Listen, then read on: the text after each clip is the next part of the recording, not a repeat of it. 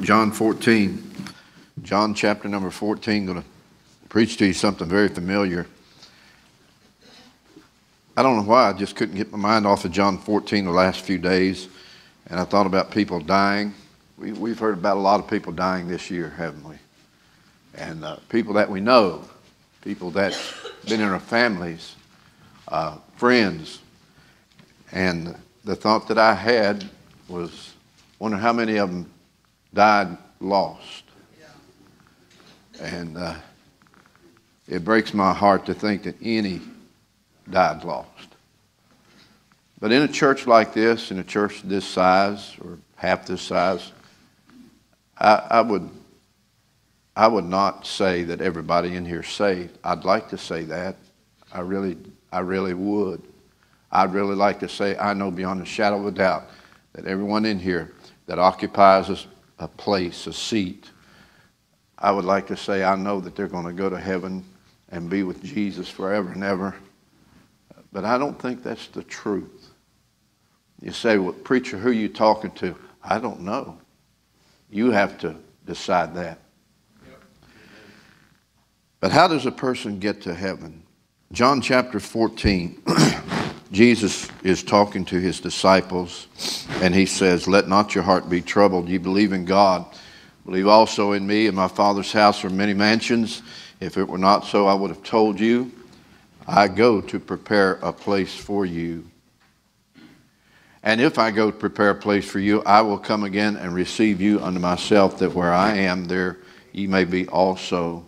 Verse number four, and whither I go, ye know, and the way ye know. Thomas saith unto him, Lord, we know not whither thou goest. How can we know the way? Jesus saith unto him, I am the way, the truth, and the life. No man cometh unto the Father but by me. Brother Bill uh, mentioned that verse this morning in his Sunday school class. Jesus saith unto him, I am the way, the truth, and the life. No man cometh unto the Father but by me.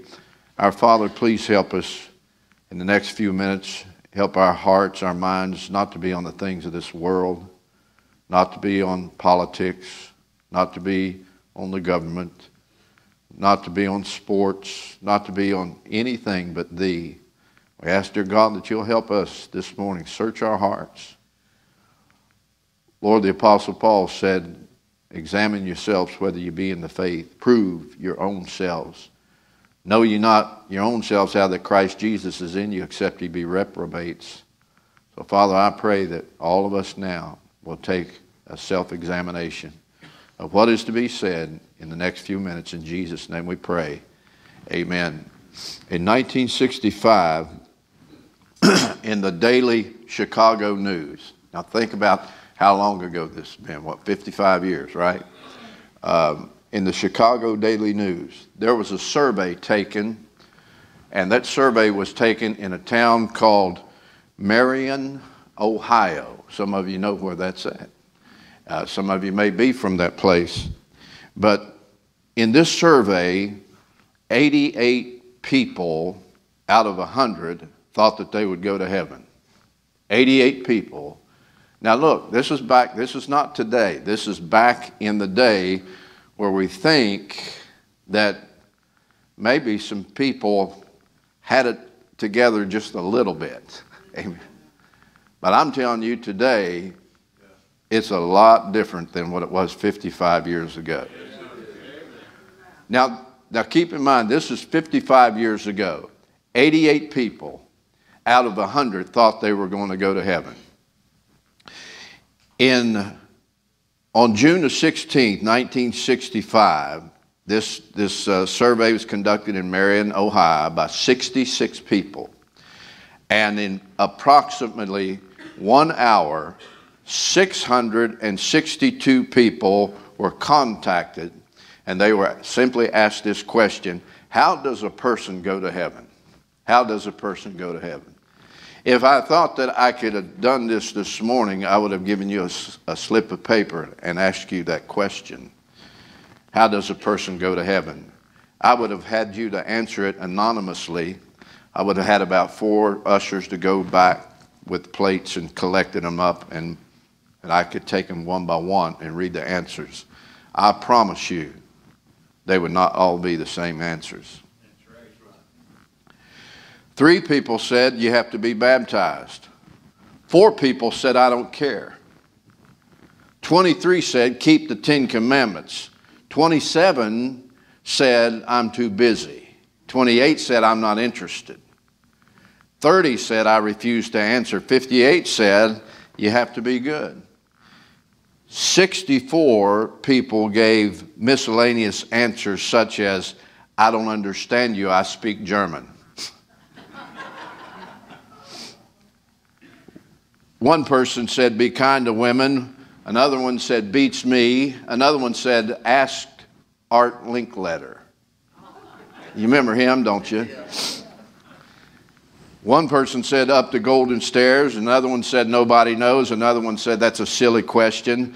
And uh, they, they said, I don't want to go to the place and, and so forth. And then there was 77 said, I don't know. 99 said, by doing good work such as being honest, helping people, obeying parents, living a decent life. I wonder if that was your answer. 23, only 23, only 23 out of 662 people said, by receiving Jesus Christ, as personal Savior and Lord. If there were 662 people interviewed today, contacted today, and asked the question, How do you go to heaven? you may have three people that get it right. How does one go to heaven? Jesus said, first of all, he said in verse number 14, there was a concern there. He said, Let not your heart be troubled. Verse number 1 says, Let not your heart be troubled. Look at verse number 27. Verse 27 Peace I leave with you, my peace I give unto you, not as the world giveth, give unto you. Let not your heart be troubled, neither let it be afraid. He's about to leave them. Jesus is about to go to a cross and die up on that cross, shed his blood for the sins of the whole world, and he's about to go back to his Father who uh, who he had one time fellowship with. He had left the Father's presence, the Father's house, and now he's on this earth in this story, in this setting, and he's about to leave. He's telling, he's telling his disciples, I'm going to leave. I'm going to go away. Let not your heart be troubled. And then here's what he said, and I preached on this a few weeks ago, but he said, You believe in God. You know what? They did, but they just couldn't see. We, we mentioned that the other day. It's hard to believe in something that you can't see, but Jesus asked us to do that. By faith, he says. So he said, uh, Jesus would say, believe, believe, also in me. Now, again and again and again, he would tell them, but they would never understand. In John chapter 10 and verse number 30, he said, I and my Father are one. He said also in another place, If you've seen me, you've seen the Father. So, what Jesus was saying, you believe in God, but believe in me too, because I and the Father are one. And, and, so they, they, he had a concern that they were just going to, um, that they, they were just going to kind of not go off the deep end, but just kind of be troubled and worried about all this life. He's getting ready to leave. And then he promises to send the comforter. We already seen this. So he said, Believe in me also. He said, Let not your heart be troubled. You believe in God, believe also in me. Now, there's a lot of people believe in God, they just don't believe in Jesus. And it's already been pointed out, you, are not going to go to God unless you go through Jesus. So he says, You believe also in me. He had already told them that he about the resurrection and the life in John chapter 11. He says, I'm with you at this time on this earth. That's what he's actually telling them. He would not leave them without any comfort. He would send the comforter. You all know the story. In verses 15, in fact, in verse number 15, look what he says. If you love me, keep my commandments, and I will pray the Father, and he will, he shall give you another comforter that he may abide with you forever, even the Spirit of truth, whom the world cannot receive, because it seeth him not, neither knoweth him, but ye know him, for he dwelleth with you and shall be in you. So he would not leave them without comfort. So Jesus was concerned. He gave them a commandment believe also in me. And then I, I find this strange, but he's going to communicate with them about a, a, a place. By the way, most, of, most people that we talk to or most, can I use this term, quote unquote, soul winners, the first thing they ask you is, Are you going to go to heaven when you die? Well, my question is, Are you going to go to be with Jesus when you die? because Jesus is what makes heaven heaven. Without Jesus, heaven is just another place. I would rather be with Jesus in a dungeon than anywhere else in this world, uh, than without Jesus in the finest mansion. To be with Jesus is really all that matters. Now, look what he says here. In verse number two, he's going to bring up a place. He said, In my father's house, that's a place, right? In my father's house are many mansions. You know, in this place that Jesus talks about, my father's house, he said, In that house are many mansions. Now, if you have one of those Bibles that says, In my father's house are many rooms, that's not correct. A room and a mansion are two different things. Uh, that is a big difference, isn't it? A mansion normally has many rooms. A room has a room. That's it. So he says, In my father's house are many mansions, and I, am glad that Jesus is honest about this. He said, If it were not so, I would have told you. I would have told you. And so, in my father's house, that's a place. There are many mansions. But Jesus, the Bible says, uh, I have told, I go to prepare a place for you. Now, I'm glad he said that because when we get to heaven, by the way, all of us are going to a place. Do you know that the rich man in hell talked about a place where he was? He was in a place of torment, he was in a place of fire, he was, a place, he was in a place of memory. So, a place is important. Do you know your body is a place? Your body is the place of your soul and spirit. When you die, your soul and your spirit leaves the place that you dwelt in from the very beginning, since you were born. And it goes somewhere. Your spirit and your soul either goes to be with Jesus Christ or it goes to a place called hell. But we're made for a place. We're made. Look, when you get when when you get uh, if you die in Christ, if you die in Christ, you're just not floating around in a spirit and all that stuff. You're not. By the way, I was talking to Brother David over there, and uh, and he works in a prison, and he said, he said there are 23 different religions that they have to accommodate in the prison. And I'm thinking 23. And I know there, I know what some of them are, but he named a couple I had no idea. He said some of them worship Thor and some of these mystic gods and all kinds of stuff. And uh, very interesting. I wish I could have talked to him a little bit longer about this. But man, I you know I used to watch this stuff as a cartoon on cartoons, Thor and and uh, all that stuff, Superman, Batman. They probably got that kind of religion. You can always start your own religion, by the way. Do you know that? But he was talking about that. And no wonder this world is confused. Back 55 years ago, there were not 23 different religions that were accommodated in a prison. Man, they have grown and grown and grown and grown. And guess what? The one that is looked down upon the most and is ridiculed the most Christianity. Yeah, you can't say anything about this fellow's. By the way, they say you have to tolerate. I don't have to tolerate it. I don't believe it. I don't go for it. God's against it. Why should I have to tolerate it? Why don't you tolerate mine? Amen. Good toleration. All right. But in my Father's house, there's a place. Jesus said, I'm going to prepare a place. Jesus promised that where He is, verse 3, and if I go and prepare a place for you, I will come again and receive you unto myself, that where I am, there, that where I am, that's a place. Where I am, there ye may be also.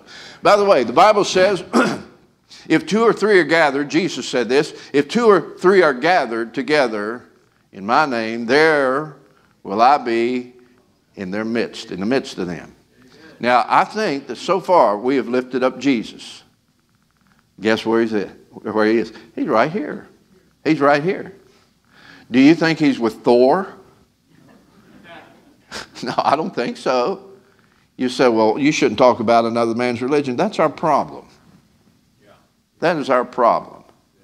We, we are afraid of offending people. Look, if the gospel offends folks, then they just have to be offended. I'm not, look, I'm a nice guy. You ask my wife. Don't, don't ask anybody else, just ask my wife. I'm a, I'm a nice guy. But I'm going to tell you what, when somebody says you go to heaven through the baptismal waters or you go to heaven by this, and if it's not lined up with the Bible, I say you're wrong.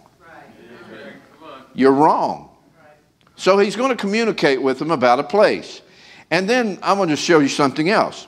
Then Jesus is, and to me, this is the most important thing he said in these first six verses. He's going to give them a clarification. In verse number four, he, sa- he says, And whether I go, you know, and the way you know, Thomas saith unto him, Lord, we know not whither thou goest, how can we know the way? And here it is. Jesus saith unto them, I am the way, the truth, and the life. No man cometh unto the Father but by me. Now, Jesus is the way to go. He's the way to go. Acts chapter 4 and verse number 12 says, There is no other name under heaven given among men whereby we must be saved. There is no Baptist name, no Presbyterian name, no Buddhist name, no Episcopalian name. It is by the name of the Lord Jesus Christ that a man goes to heaven. There is no other name, the Bible says. 1 Corinthians chapter 3 and verse number 11 says, For other foundation can no man lay than that is laid, which is Christ Jesus. You're pretty dogmatic about that, aren't you, preacher? Yeah, I had a first grade teacher that was pretty dogmatic in math. When she said, What is 2 plus 2? and I wrote down 5, she said, You're absolutely wrong. I said, you're, you're hurting my feelings. well, I didn't say back that. I didn't know anything about the feelings and all that stuff. And, but she was dogmatic about that. 2 plus 2. My daddy used to tell me, he said, you, he said, you didn't say equals. We used to have our multiplication table, our addition, all that. We would say 1 plus 1 equals 2. 2 plus 2 equals 4. Yeah, 4. and, and Daddy used to say, Daddy would tell me, and I don't remember saying this, but he told me, my mom did too. She said, you would say 2 plus 2, it was 4. you would not say equals. She said, You would say, 1 plus 1, it was 2. 2 plus 2, it was 4. I said, I did not. He said, Yes, you did too. In fact, there's a lot of things you did that we, we're not telling people. Bible says, For there is one God and one mediator between God and men. Not the Baptist religion, not any religion. It is the man, Christ Jesus. Do you know that in heaven right now, seated at the right hand of the Father, is a man? And his name is Jesus Christ.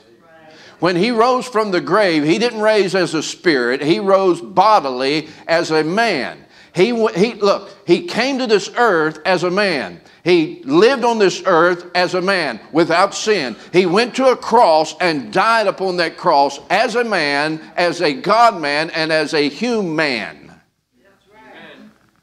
And he shed his precious blood. And he, they were buried. He was buried. On the third day, he arose again as a man. And when we get to heaven, we're going to bow our unworthy faces and our unworthy knees and our unworthy, and we're going to worship the man, Christ Jesus. I can't wait. By the way, we can worship him right now as the man, Christ Jesus.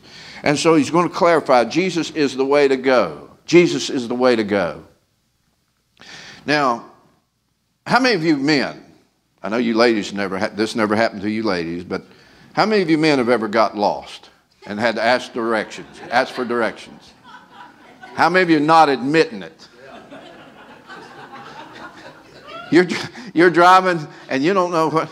You know what? I, I'm not all big for technology. I, I carry a flip phone, you know that. But I'm so thankful for GPS.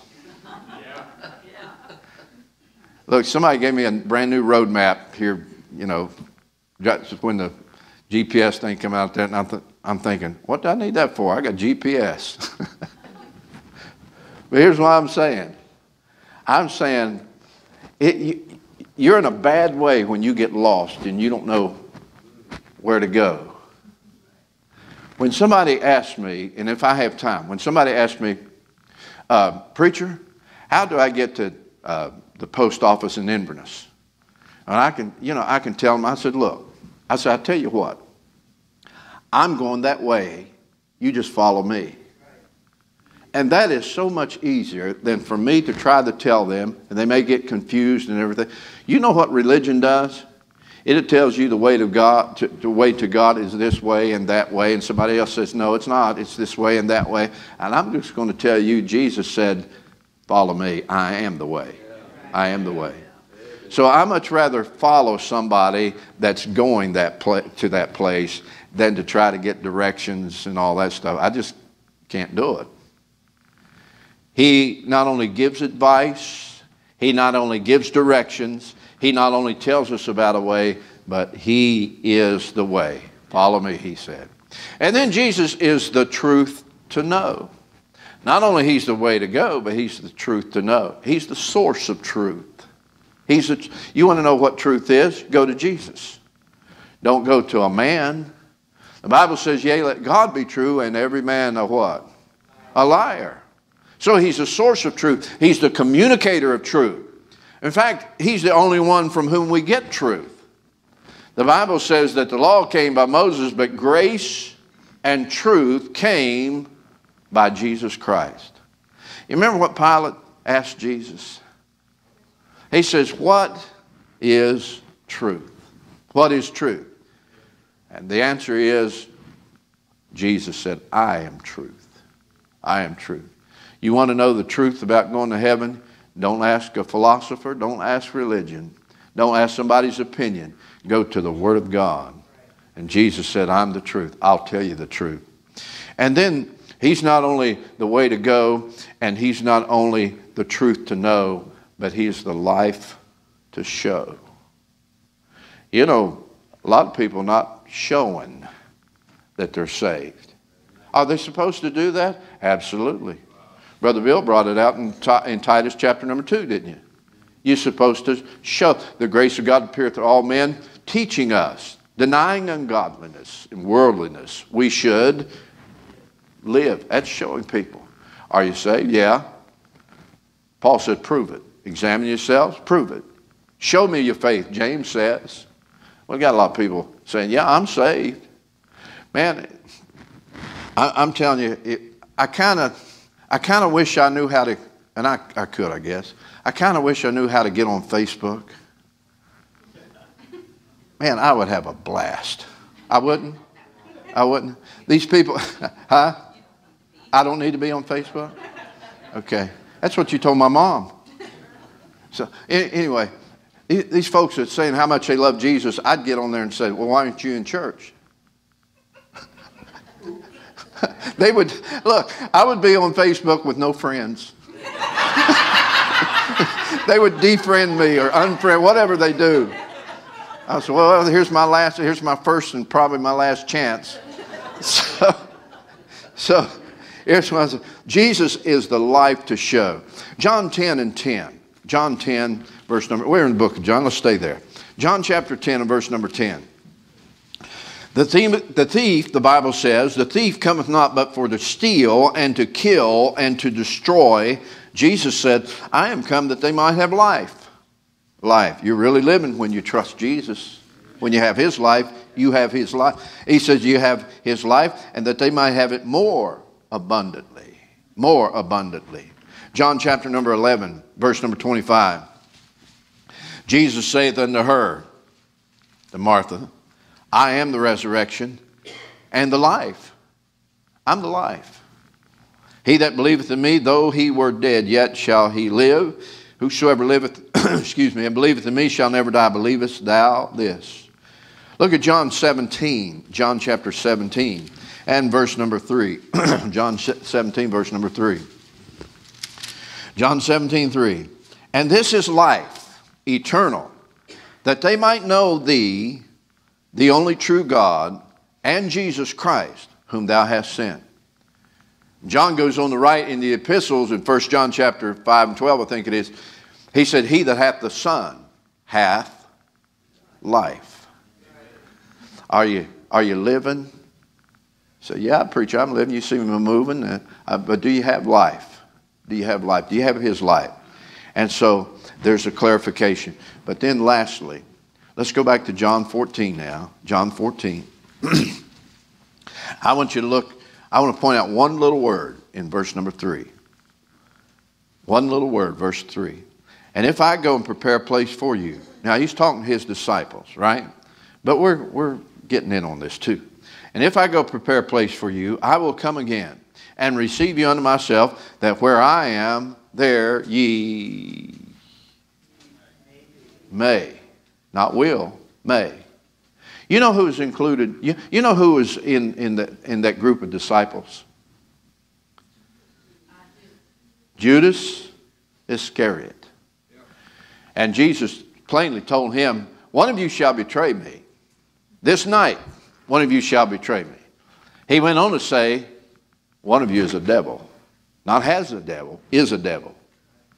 And so he said, If I go prepare a place for you, I'm, I'm going to come again. Now, Jesus said, If this, all of this were not true, I would have told you. So when he left, when he ascended up to heaven, it, it, I don't know if he's still doing it right now, but he said he was going to start. He's going to prepare, he's going to do it, a place for you. Do you think he's still preparing places? Could be. I don't know. Would he be preparing a place? Um, it, do, you, do you think maybe he's, look, he went to a cross, he died for all. Did he not? He died for all sinners.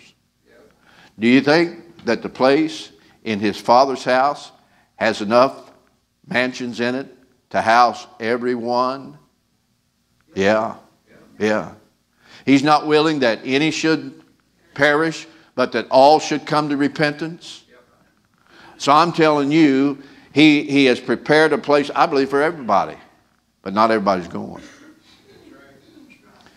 Some will go, some won't go. What's the difference?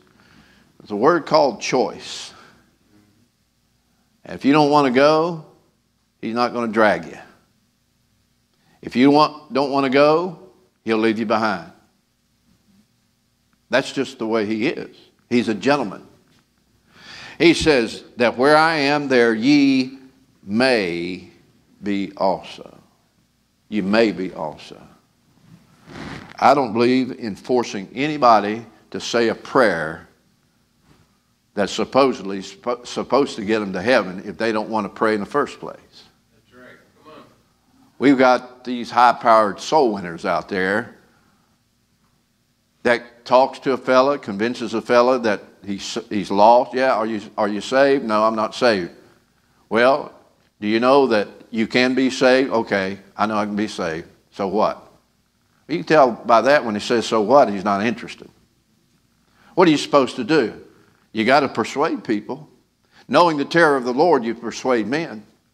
That person, well, all you have to do is just repeat this prayer. Okay, I'll repeat a prayer. Go ahead. And we go through the spiel, and God repeats the prayer. Brother Bill brought this out again um, in Sunday school. Repeating a prayer don't get you to heaven. For with, the Bible says, for with the heart man believeth unto righteousness. And then with the mouth confession is made unto salvation. There's many people that have repeated a prayer.